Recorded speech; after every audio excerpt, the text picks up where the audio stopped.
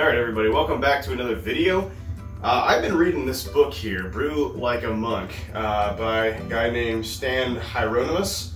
Um, and I highly recommend this book to anybody that is interested in how Belgian monks brew their beer, or how Trappist beers are brewed, or anything um, of that sort of thing. Really interesting read. So this book basically is about Belgian monks and how they brew some of the best beer in the world, the way that they've been brewing it for hundreds of years. So this guy basically went to some of those Trappist monasteries and breweries and spent a lot of time with the monks and uh, to the extent that they would allow him, um, they revealed some of their, their brewing uh, processes to him. And uh, I was just reading this for a while. Uh, I haven't made a Belgian beer in a long time. The last one was my quad, which I made uh, towards the holiday season last year. So uh, I've been kind of craving that. And I've also been making a lot of beers that are sort of towards the upper end of the percent ABV uh, beer spectrum. So I felt like it was time to get something that was not hoppy, not dark, not strong. And I was reading this book, and uh, you know, when you think of Belgian beers, you think a lot of Belgian doubles, Belgian triples, Belgian quadruples, you know, but you never really hear anything about a single. And uh, that's actually what is formally known as a Belgian Pale Ale, or also known as a Belgian table beer, and that's what we're brewing today. So that is a relatively low strength, amber colored, easy drinking malt forward beer. Uh, that is made with Belgian yeast, uh, but it's not really heavily dependent on those classic Belgian yeast esters. They're there, but they're not super strong like they would be in uh, I don't know, like a, a wit beer or a Belgian blonde or something like that. And I was reading this book, I found a really interesting fact. Uh, so a lot of the Trappist monasteries, they'll produce singles, Belgians, triples, quads, um, and they actually will use the same exact mash for multiple beers. And for the strong one, they'll take the first runnings off of that mash to, and then they'll cut it off. And for their weaker beers, they'll use the second and third runnings. Uh, so they actually end up with a lower gravity wort, but from the same exact mash. So I found that really interesting, thought I wanted to share that with you guys. But that's effectively how the singles are made by the Trappists. They're, they're made by the last runnings uh, of those stronger beers, and like the quads and, and the doubles. But obviously I'm not brewing a quad and a double at the same time today, so we can't quite do that. So we're doing our best to just kind of create a lower gravity wort with a little bit of uh, good caramel flavors in there, but not too much. Everything is restrained and balanced in a Belgian beer like this. Uh, and that's something that they do so well and have perfected over the centuries is that balance. Um, so we're shooting for a beer that is not too much of really anything. Um, it's just going to be something that's very easy and pleasant to drink um, and not very strong. So, so this is a recipe for the Belgian Pale Ale slash Belgian style single slash Belgian table beer. Um, but basically, this is it. Uh, nine and a half pounds of Belgian Pilsner malt, uh, three quarters of a pound of Cara Munich, uh, a quarter pound of biscuit malt, a quarter pound of Melanoidin malt, and a little addition that I kind of came up with, uh, just a tenth of a pound, so basically a splash of Special B. Special B is a very potent, very dark Belgian malt that gives doubles and quads that raisin-like character. Um, I am adding just a tad because if you see my red IPA video, I added a tenth of a pound of chocolate malt to that, and that had a profound impact on the deepness of the red color in that, as well as adding just a really cool hint of background flavor to the red IPA's malt bill. So I'm hoping that I have a pretty similar result uh, adding just a tenth of a pound of Special B to this.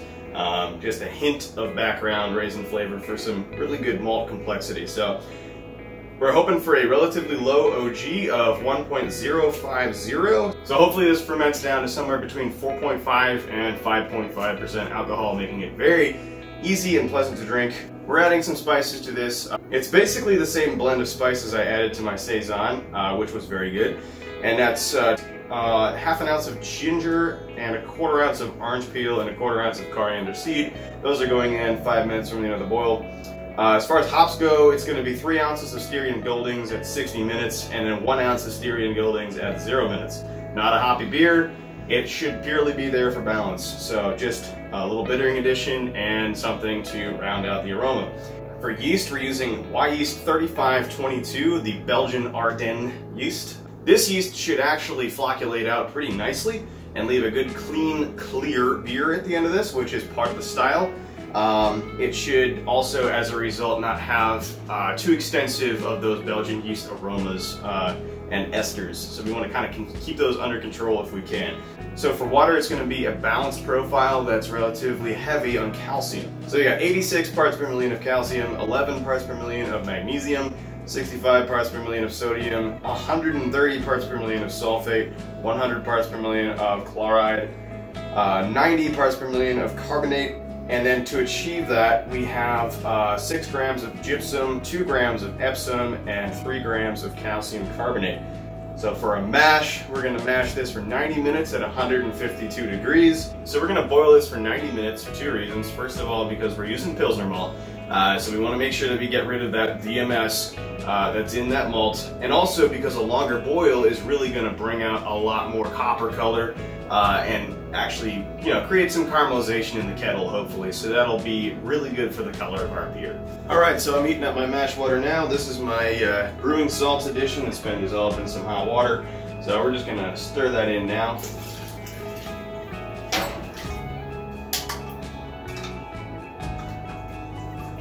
Okay, so our strike water has reached the appropriate temperature, so it's time to pull out the heat stick and go in.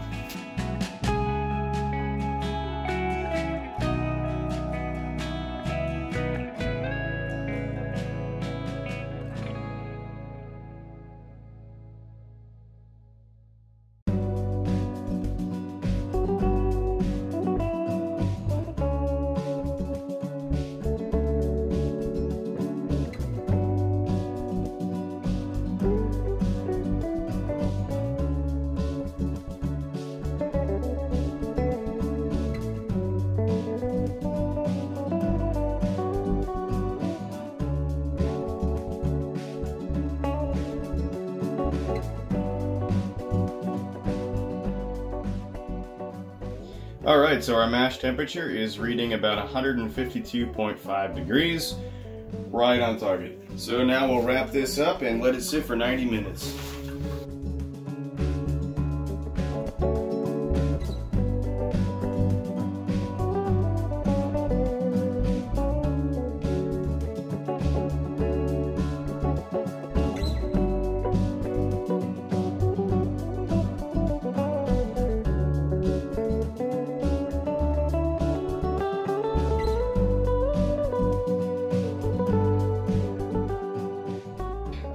It's 10 minutes into the mash now, so it's time for a uh, pH check on uh, the mash pH. I'm using a pH strip because it's simple and easy.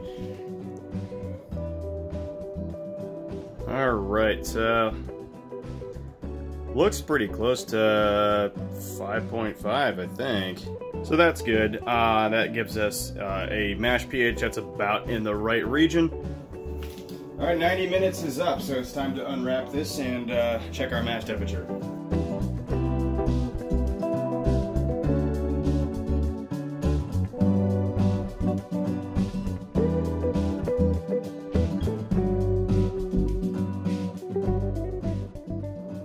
All right, it's looking at about 148 degrees.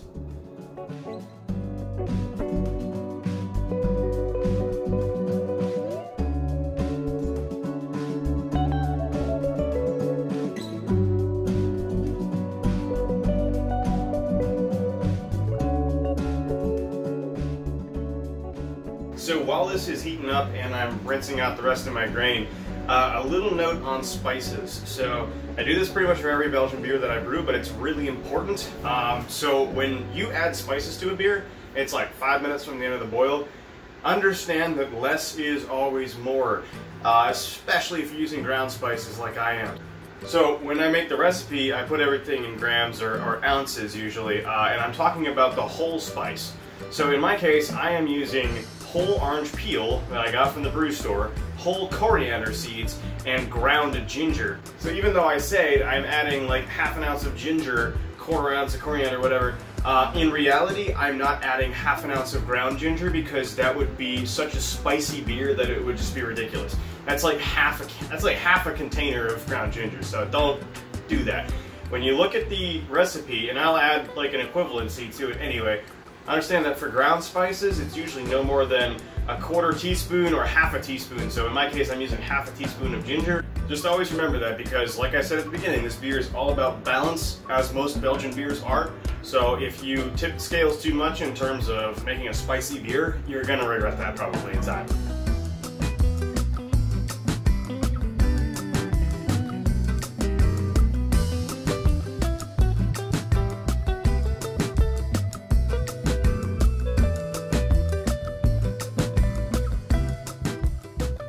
Alright, so as you can see, the boil has begun. So this is a 90 minute boil, once again, uh, and our hop addition is actually for 60 minutes. So we're not adding hops at the beginning, we're just gonna let it boil for 30 minutes first, and then we'll go ahead and add our 60 minute addition. Alright, so our pre-boil original gravity samples cooled down, and it is about 1.034 Alright, so it is now 30 minutes into the 90 minute boil, so it's time to add our 60 minute bittering addition, which is 3 ounces of Styrian Goldings.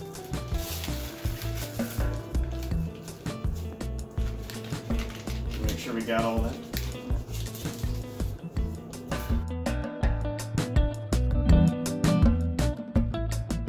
Alright, it is now 15 minutes from the end of the boil, so it is time to add some stuff. First of all, we're going to add uh, our chiller.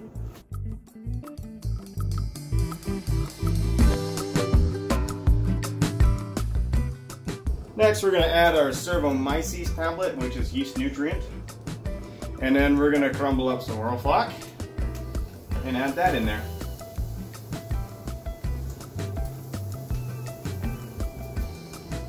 And uh, now we wait for another about 10 minutes, and uh, at that point we're gonna add our spices. So it's five minutes from the end of the boil, so here's my blend of spices. We're gonna add that right now. Okay, so the boil has ended, so it's time to shut off everything.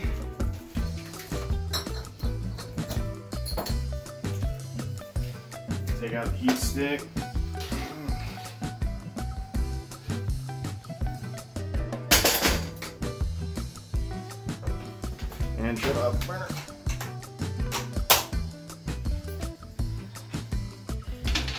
And it also means it's time for a zero minute hop edition, which is just one ounce of Styrian Goldings.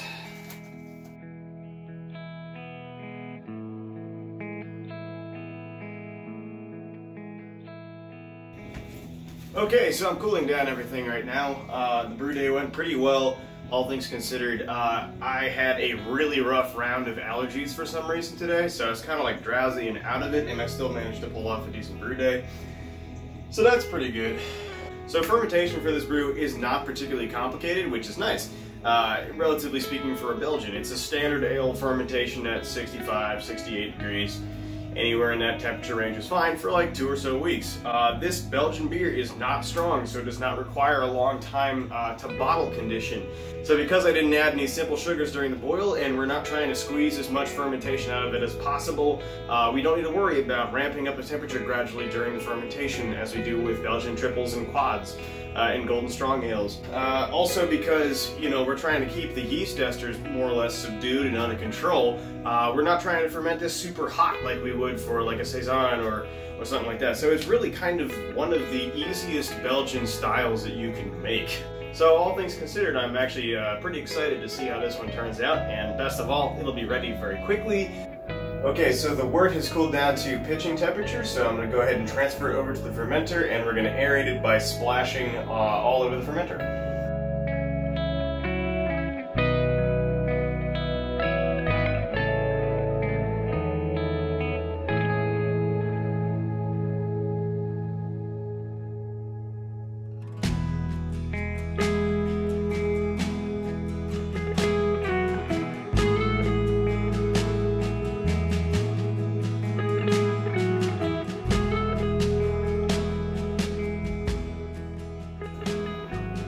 Remember how I added spices to the boil uh, and you saw those chunks of bitter orange peel? Uh, well, they have firmly lodged themselves in the ball valve here uh, and kept me from transferring wort. So we're gonna have to figure out a workaround. So I think the only way that we can really do this uh, is to go old school and just straight up siphon this stuff.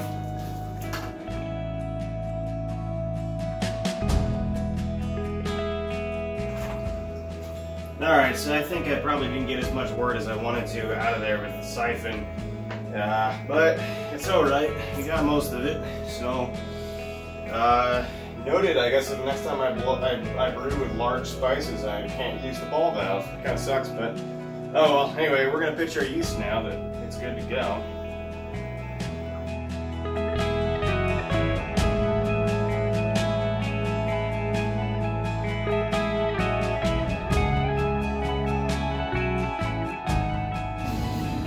Alright, so our original gravity sample is in. Uh, it is a really nice color, kind of like a medium copper color. Uh, really, really like that.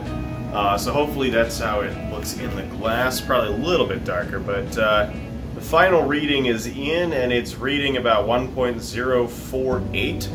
Uh, which is, well, that's pretty good. Uh, within two gravity points of what we were targeting, and that makes it a really nice, easy drinking beer. Okay, so here is our final gravity. So it is looking about 1.009. So that's pretty good. Color looks great. Color leaves a little bit to be desired, but I'm thinking the longer it sits in the keg, the more it's gonna clear up, so I'm not really concerned about that too much. So let's go ahead and keg this. So the fermentation went very well, straightforward, no issues. Uh, the temperature was pretty steady the whole time, around 68 to 69 degrees, I think. Uh, Krausen rose and fell without any issues. It was actually pretty quick. So once it had completed fermentation, I went ahead and I transferred it to the keg. Now this is the first keg beer that I have. So it is on tap number one here. Uh, I built this kegerator the other weekend and uh, one of the best parts about that is that now that I don't have to wait for two weeks for my beer to actually condition in the bottle, it can actually be carbonated within a couple days. So me being the impatient type, um, I went ahead and force carbonated it by shaking the keg and hitting it with like 50 psi bursts of CO2 and it was ready the night that I put it in the keg. Uh, that's not the best method because, you know, the flavor of the beer is going to change over time. There's going to be things that change about it, but uh, it did work and um, I think it's still just fine to do that because this is a very basic, easy drinking, pleasant beer. So it's been on tap for a good week now, uh, and it's a really, really nice beer. All right, so it's called Second Breakfast. It comes in at about 5.3% ABV.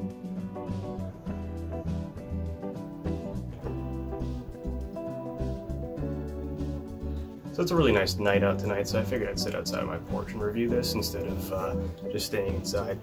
So uh, this is a couple minutes after the pour. As you can tell, the head kind of faded quite a bit, but uh, there's still a decent amount of lacing remaining on the surface. The color uh, is a deep orange, almost copper, really quite nice. Um, but as you can tell, not clear. Not clear like it was earlier. So I think really unfortunately we just got a lot of chill haze in this particular brew which is a shame. Um, it's just gonna have to sit in the keg for a while before it gets completely clear, but I'm definitely not that patient. So as far as aroma goes, uh, it's actually very, very subtle. Um, there's not much aroma to this beer at all. Uh, the, really the only thing I get is just a whiff of the malt and then uh, a little bit of uh, ester coming out from the Belgian yeast.